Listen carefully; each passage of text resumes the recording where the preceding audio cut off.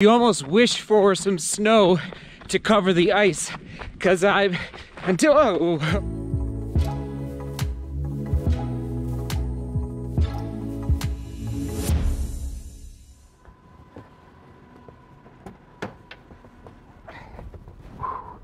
Onward and upward.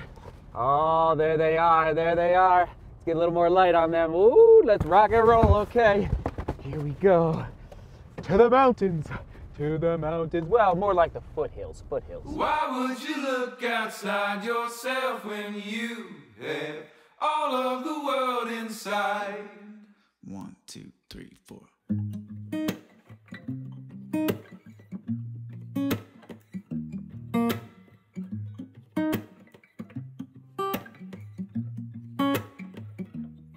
Yeah, your heart is a sun and it shines as it opens. Where your heart is a There they are. All right, let's rock and roll. We're getting some vertical today, some baby vertical, but we're getting vertical today. Uh, the runner's knee, it's oh, it just feels amazing. It actually, I, I wouldn't even call it runner's knee anymore. It just said it's normal. It's back to normal. So we're taking out the Skechers Speed Go Speed Trail Hypers with that Hyperburst midsole. Let's uh, let's lace it up here. Sun and it shines as it opens. Yeah, your heart is a sun and it shines as it opens. Where your heart is a sun and it shines as it opens. Yeah, your bones are the earth and they sing with the mountains. Where your bones are the earth and they sing with a mountain. Yeah, your bones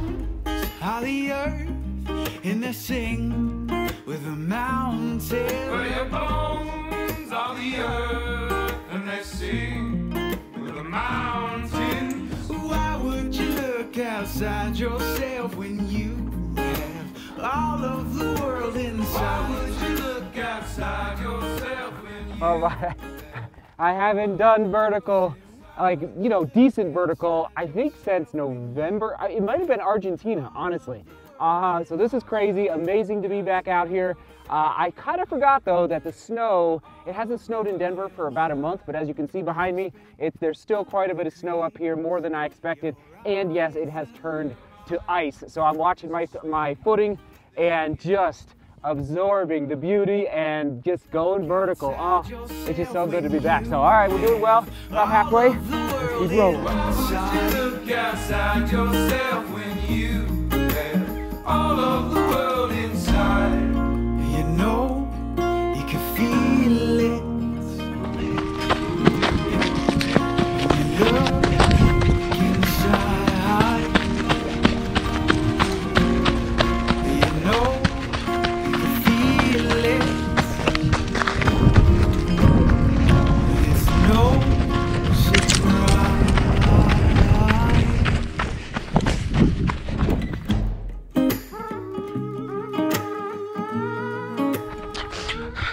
Almost went down. Whoa, it's icy. Uh, definitely, it's one of those situations where you almost wish for some snow to cover the ice. Cause I've until oh, don't worry, I've I've fallen before. As long as you're not going crazy fast, you're probably you're not gonna hurt yourself too bad, too bad. Okay, dirt. Oh. Having fun. Say, why would you look outside yourself when you have all of the world Why inside? would you look outside yourself when you have all of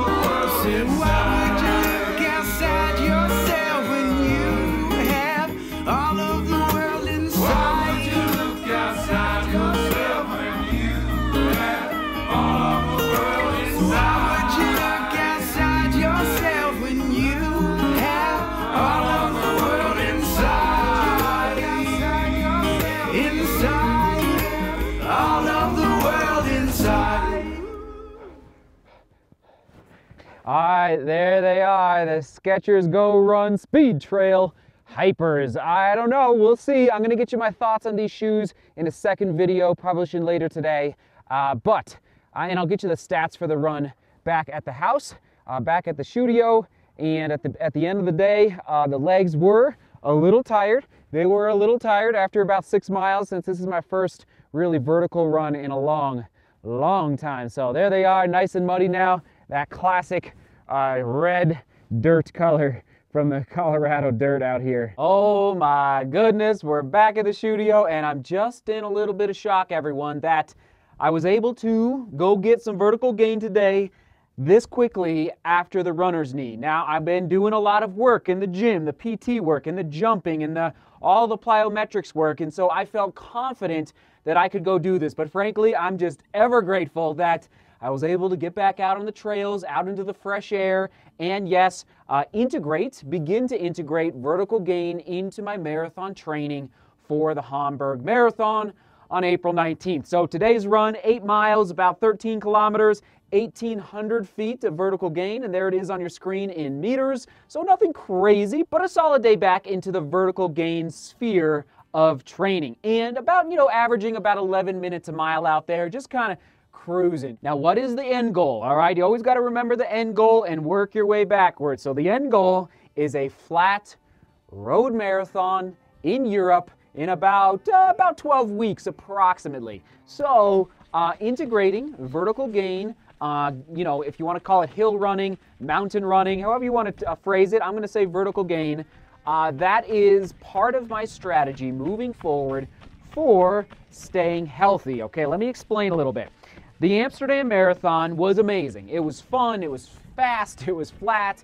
Uh, but leading up to the Amsterdam Marathon uh, last, last fall, I was still doing quite a bit of vertical gain. I was running 14ers here in Colorado, 14,000 foot mountains. And the reason why was because I was walking the line between mountain racing and road racing, okay? Uh, I had qualified, yeah, I had just qualified for the World Mountain Running Championships. And so I, I knew that I still needed to continue to seek out vertical gain in my training while trying to prepare for a flat, fast road marathon. Uh, but I will say that lessons learned. I'm, you know, we're always learning, right? You always got to be learning as a runner. So lessons learned going into Amsterdam.